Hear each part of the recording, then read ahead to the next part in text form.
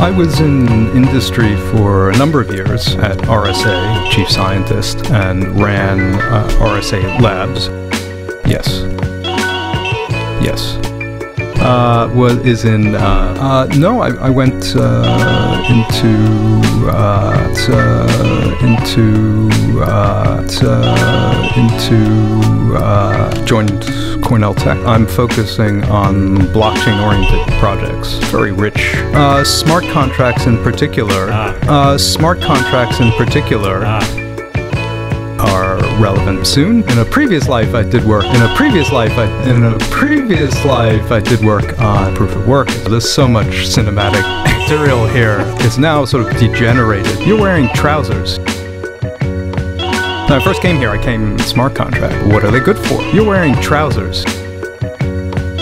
So we realized you're wearing trousers. That smart contracts were perfect, and I saw in smart contracts an opportunity also in the physical realm as a warning to the community. Some ways that the community can police itself responsibly.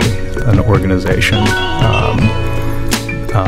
whose mission actually would, is uh, to, to uh, into uh, looking to uh, to make a quick buck.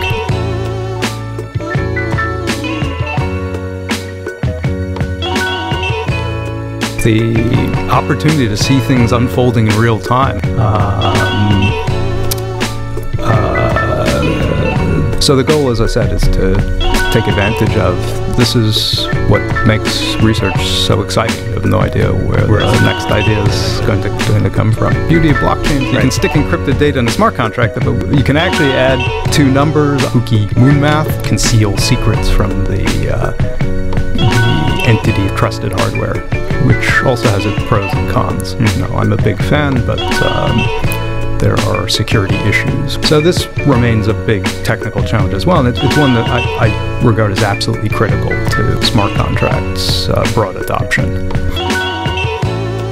Avoid the confidentiality problem by not putting any data on the blockchain. You're Yeah. uh, you're uh, t- uh, into uh, blockchains don't make a lot of sense to me. I've never understood the use of blockchain. Blockchains are not great. Don't make an awful lot of sense to me. Creation of new types of financial instrument. Uh, this is something that smart contracts are already realizing. Smart contracts are going to enable people to create a whole new host of financial instruments.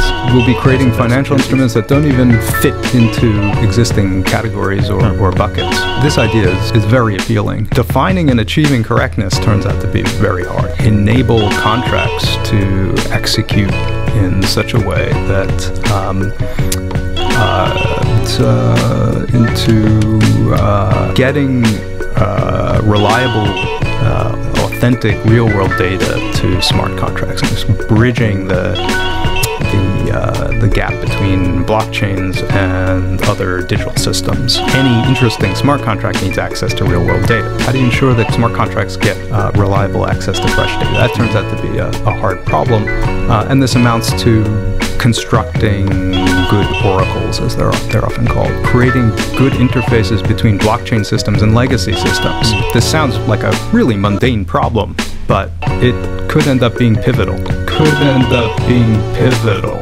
if existing institutions and industries are going to embrace blockchain technology. They're going to be able to need to do this in a gradual way. This is super important.